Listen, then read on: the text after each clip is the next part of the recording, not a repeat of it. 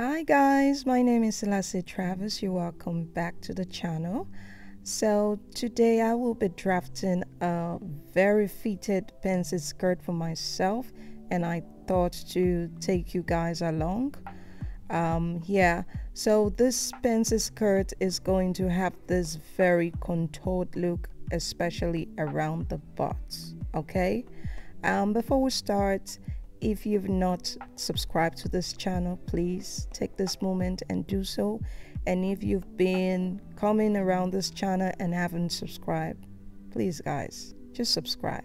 Subscribe, please. So I started off by coming down from the top of my paper and I drew a horizontal line. This horizontal line is going to be my waistline. And I also came in two inches from this edge of my paper and I square right across this point a vertical line.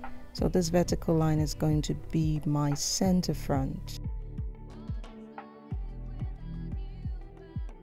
Next from the top line I'm going to mark my waist to hip measurement which is 8 inches and square out a horizontal line right across this point. This is my hip line. From the top line, I'm going to mark down the length of my skirt that reaches to my knee, and this length is 23 inches. And then I'm going to square a line right across this point. This is the bottom of the skirt. Now on the hip line, I'm going to mark my hip divided by 4 and then subtract 1 inch from that measurement. And this for me will be 9.5 inches and then I'm going to square a vertical line right across this point. Okay, now I'm going to come upward from the side of my pattern, one inch upward from the hip line. So this is going to act as a guide. Now on the waistline from center front, I'm going to mark my waist divided by four plus one and quarter inches for dart. And I'm going to connect these two points together and then I'm going to extend this curved line right above the waistline. I'm extending with about half of an inch, okay? Next, I am going to come down from the hip line on the side of my paper with two inches and then I'm going to come in from the bottom from the side seam two inches and then I'm going to proceed to connect these two points together. Alright, next I am going to mark my dart width and this will be, um, I'll measure in from center front, my nip to nip measurement divided by 2. This is 3 and 3 quarter inches and from this point I'm going to mark down five and a half inches. So my dart length is a bit long this is intentional so as to eliminate the bulge I usually have on the front part of my skirt. Now on both sides of this vertical line, I'm going to mark my dart width of 5 8 of an inch on both sides of the vertical line and then connect this point to form the darts.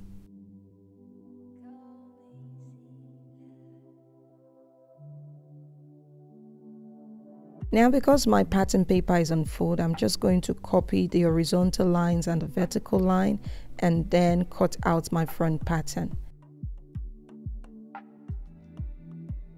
Next, I'm going to take the measurement from this half mark above the waistline to my hip. So this measurement should equal my waist to hip measurement when it's taken from the side seam. Okay. So next I am going to close the darts and from the center front I'm going to mark down one inch. I'm marking down this one inch because I usually have this annoying bulge on my skirt at the front. So this coming down with one inch is going to eliminate that bulge. So while my dart is folded I am going to draw a curved line from this point to the point on the center front so this would be my front waistline. Now following the curve of the waistline, I'm going to add half inch seam allowance and then I'll proceed to add half inch seam allowance on the side seam and also half inch hem allowance on the bottom of the skirts and then I'll go ahead and cut out this pattern.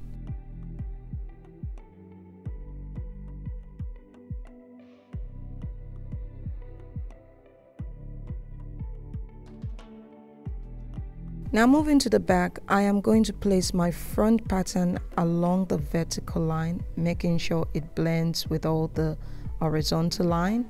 And then I'm going to copy just the outline of the side seam of the pattern, including the seam allowance, okay?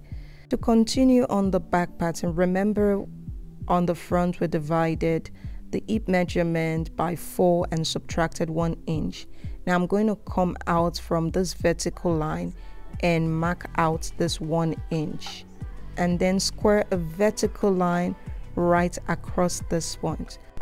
So this is going to be the center back of the skirt, okay?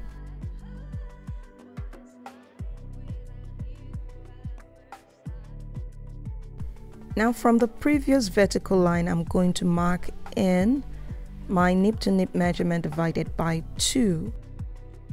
Then from this point, I'm going to mark down five and a half inches, which is the length of my dart for the back.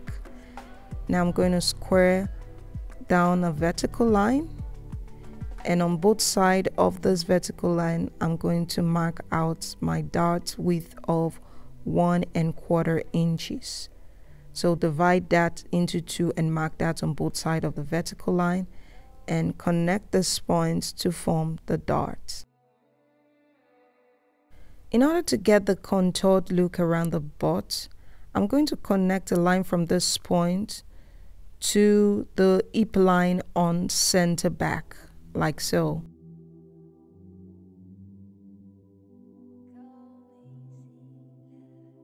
Next, I'm going to mark down from the hip line along the center front line 8 inches and then connect this point to this point like so.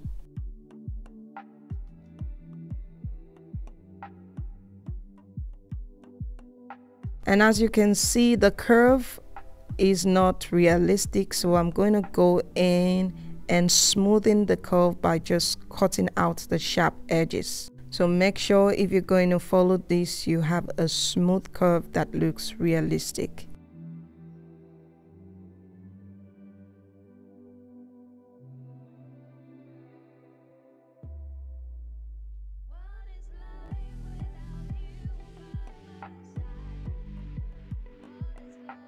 So next I'm going to fold in the darts and then use my French curve and draw a curve from this point blending into the waistline.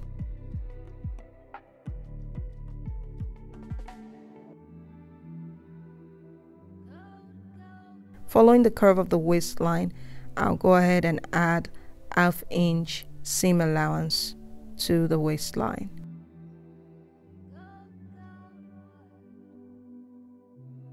And then following the curve of the center back, I'm going to mark out 3 quarter inch zip allowance.